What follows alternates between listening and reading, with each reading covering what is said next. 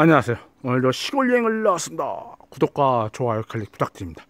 여러분 시골길 걷다가 좀 특별한 시골집을 발견했어요. 이게 좀 희뿌옇게 보이는 지붕만 보이는데 이게 보니까 아주 그냥 이 풀들로 완전히 가려져 있더라고요. 주변 풍경 한번 보시죠. 이게 읍내 정도 돼요. 읍내 정도. 읍내인데 이제 읍내도 읍내 최초는 이제 면이나 리처럼 말 그대로 초가집이 있었던 동네예요. 그러다가 이제 이 단위가 좀 주변에 이제 집들이 생겨나고 뭐 개발이 있게 되면 이제 읍으로 바뀐 건데 지나가다 보니까 뭐 이거 진짜 알 수가 없어. 이게 집이에요. 방금 봤던 계단이 있고 이거 완전 stair to ghost house 유령으로 유령의 집으로 올라가는 길 아주 그냥 영작을 너무 못하죠.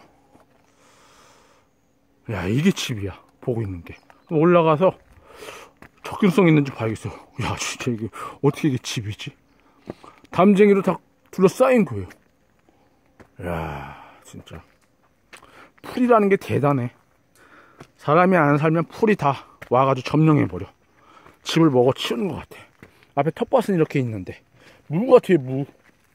저번에 어디 시골 가니까 무를 심던데 여기는 벌써 무가 다 올라와 있네. 어, 저거 봐요. 저거, 저, 저 집인 줄 알았는데 집이 아니야. 저거, 막, 뭐, 모양새 둥그렇게 거 있잖아요. 저게 무슨, 하, 조금만 무슨 이런 구조물이 좀 있나 봐. 거기에 이제 풀들이 다 올라탄 거죠. 이건 당연히 집이고. 야, 집이 이렇게 생겼어.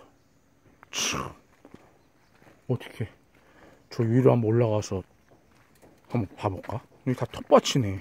무밭이네, 무밭. 이야. 옛날에는 밭일 하다가 무 하나씩 딱딱 그냥 말을 뽑아가지고 참 먹으면서 일하는 그런 경우가 있었어요. 그쵸? 시원한 부분이 아주 매콤하면서 아주 맛있죠.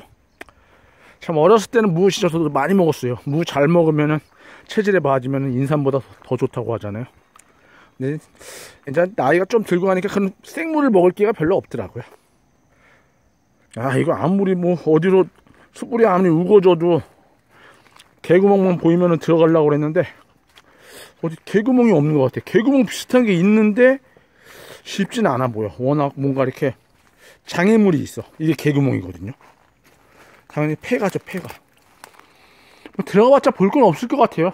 여러분들 희뿌옇게 보이지만 집이 민자예요. 집이 내부가 이렇게 민자면은 볼 게 없어요. 내부 살면서 겉에가 오히려 더 오래됐고 속은 어떻게 보면 리모델링을 해가지고 뭐 석가래 같은 것도 보이지 않아요. 보시다시피 뭐 들어가기도 힘들고 이런 건 너무 무리해서 들어가 진입하는 건 좋지는 않아요. 어쨌든 또 중요한 거는 아주 볼거리가 있으면은 진짜 이거 이 장애물을 넘어서라도 가는데 보시다시피 특별하게 볼 건 없어요 보니까 이 자체 덤불에 쌓인 집을 봤다. 예, 넝쿨에 쌓인 집을 봤다. 그게 의미인 것 같아요 보니까. 예, 앞에는 이런 식으로 뭐 읍내의 모습이죠. 예, 오늘 이렇게 한번 옛날 시골집 한 채를 구경해 보았습니다. 구독과 좋아요 클릭 부탁드립니다. 감사합니다.